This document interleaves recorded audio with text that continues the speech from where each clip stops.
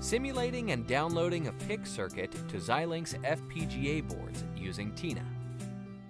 In this video, first we'll demonstrate how to simulate and synthesize a circuit displaying prime numbers using a PIC MCU VHDL code. In the end, we'll download the circuit's configuration file to the Digilent Basys 3 FPGA board. Okay, now open the PIC 16F84 prime number generator circuit from the Tina Examples FPGA folder. This circuit calculates prime numbers between 1 and 9999 and shows them on a 4-digit 7-segment display. The display has 12 pins. The MCU port RA lines from RA0 to RA3 are connected to the display digit selector pins. They are used to turn each digit on and off. If we double click the display, the catalog property shows us that our display is of the common cathode type. This means that all the cathodes of the seven segments within a digit are connected directly together. To turn a digit on, the appropriate selector pin should be asserted at a low level. Port B drives the eight LEDs, the seven segments, and the decimal point. These LED connections are the shared segment pins of the digits, but only one digit is active at a time. In this circuit, the PIC MCU model is written in VHDL. The VHDL code is the functional model of a PIC 16F84 8-bit microcontroller with initialized flash program memory. CLK1 provides the external 10 MHz clock. Okay, now let's look at the VHDL code. Right-click on the MCU, then select Enter Macro. The top-level entity is RTL underscore PIC. In the architecture section bound to the RTL underscore PIC entity, line 1828, we instantiate and connect the main components. These components are the PIC core, line 1830, the 1K times 14 bits flash underscore ROM, line 1890, and the PIC 16F underscore RAM file register, line 1898. From line 1941, the instantiation statements connect these declared components to signals in the architecture, 1941 to 2002, followed by auxiliary VHDL code to support reset and I.O. updates. Okay, now let's take a look at the flash underscore ROM entity, line 63, where the prime number generator program was loaded. The case construction, line 76, describes the ROM functionality. The ROM content, line 78 and following of the program code, has been written in C, which we have already converted to this VHDL code. Close the Tina HDL editor window. Okay, now let's look at the C code. The project was created and the program was developed with the free version of Microchip MPLAB IDE and their Microchip XC8 compiler. Start MPLAB.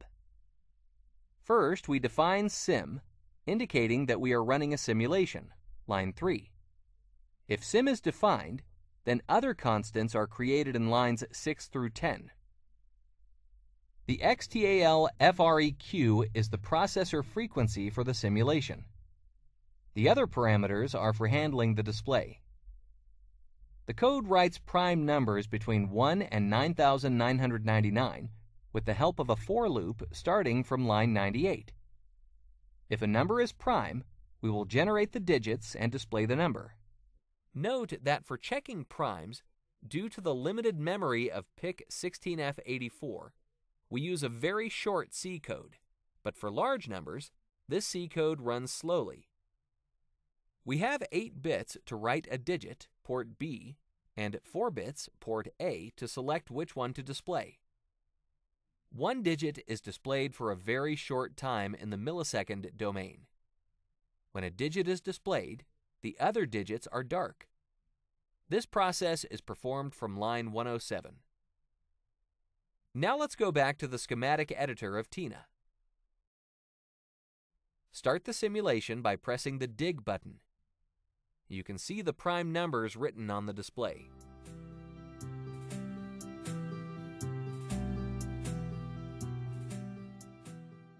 Stop the simulation. If you want to follow the transitions of the digital nodes, you can switch to the Show Digital Node States option under the View menu. In this case, the node levels will be displayed. However, the simulation could be slower.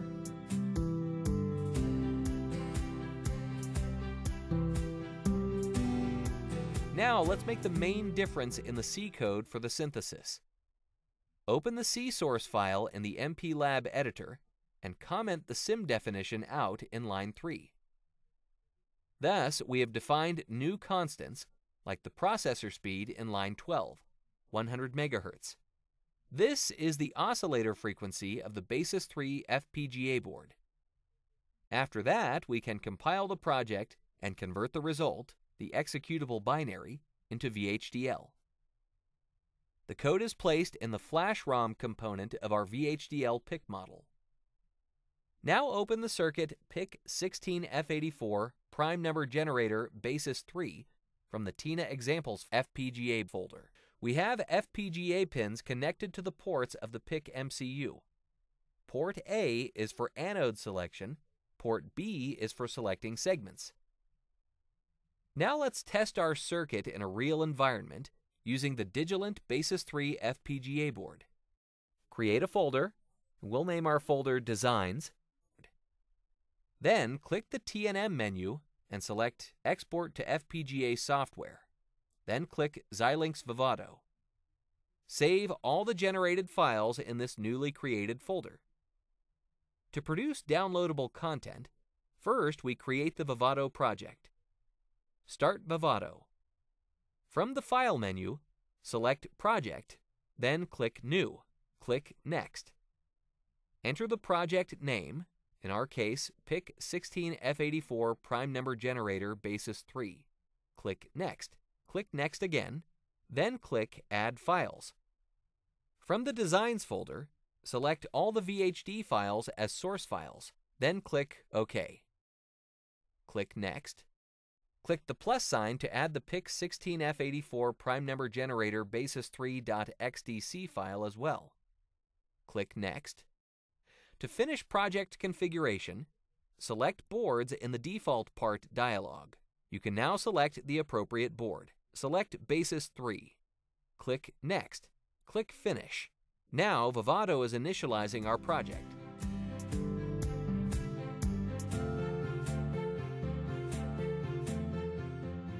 Click Generate Bitstream to produce configuration data for the FPGA. Then click OK in the Launch Runs dialog. Now connect Basys 3 via USB with the Vivado machine and turn the board on. As soon as the bitstream generation successfully completed message appears, select Open Hardware Manager, then click OK. Now you can see the prime numbers written on the display.